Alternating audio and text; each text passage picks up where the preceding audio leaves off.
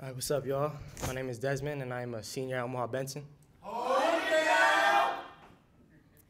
And the poem I got to, for you today is called Grandpa. Nobody really knows how my life has been, hands on. Since a kid, I always thought something was wrong. Was always paranoid. Once my grandpa passed, I only had my mom. He was my only male influence, so when he passed, it hit me hard. And when I walked into the room and seen him with them big white eyes, it really scarred. I didn't know what was wrong with him. Everyone was just screaming and crying. I sat there and stared. His chest wasn't moving anymore. And I was too young to realize that he was dead. And I tried to hide my tears because I didn't know if anybody cared. I was just scared. Scared to show too much emotion, but when I seen him, I was just lost and stuck in the commotion. So I wrote him something to express how I felt. I wanted him to know that I think, him, I think of him every day.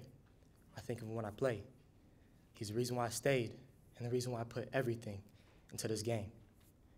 I read this on the morning of his passing every year, and every time I drop a few tears. September 17th, 2008, the day we found my grandpa, but it was too late. Nothing has been the same since. Life's been downhill, and every time I think of that day, I wince. Grandpa. Another year goes by on the day you died, and all I can do is try not to cry. I'm still trying to carry on your dream and play for that team. You wanted me to play in college, that's what I'm trying to do. The thought of you helps me push through. I know you're in heaven cheering me on, but without you in the something feels wrong. I never really had a father, but he was replaced with you. That's why I'm on your loss so bad. You weren't only my grandpa, you were the closest thing I had to a dad. I miss your laugh, your smile, and running my face against your spiky cheeks, your warm hugs, and taking sips of that nasty black coffee from your warm mug. You were there when I threw my first spiral, cheering me on and clapping. I jumped into your arms happy, and we were just laughing. At that time, I didn't know I wouldn't have you very much longer, or I would have spent way more time with you and made our bond even stronger.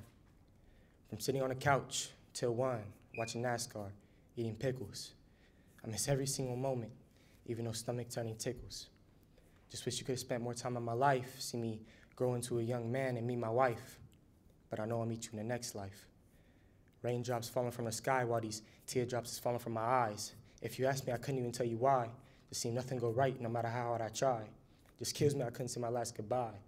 But I didn't know what you were going through. I just wish you were still alive. Grandpa.